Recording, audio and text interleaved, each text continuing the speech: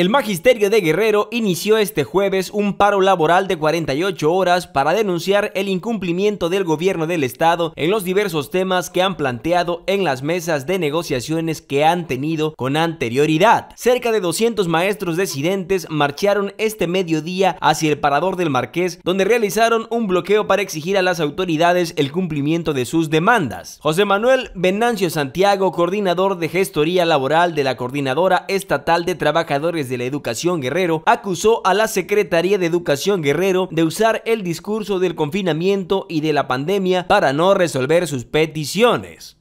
Vamos por las demandas más sentidas de nuestro Estado,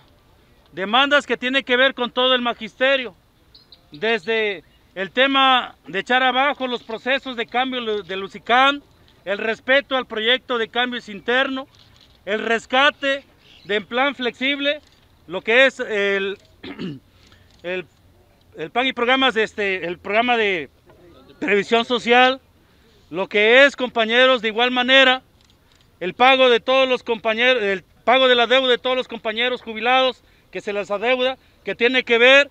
con los seguros, que tiene que ver con las mesadas, que tiene que ver con los bonos, con los bonos de Sebrinde que actualmente no se les ha pagado a los compañeros. En suma, son demandas generales que trae la coordinadora lamentó que la cerrazón por parte de las autoridades al no querer darle solución a la conclusión de la renovación de contratos, por ello exigieron una mesa de negociación para finalizar ese tema pendiente con la coordinadora. CN6 Noticias, de lunes a viernes 8 de la noche.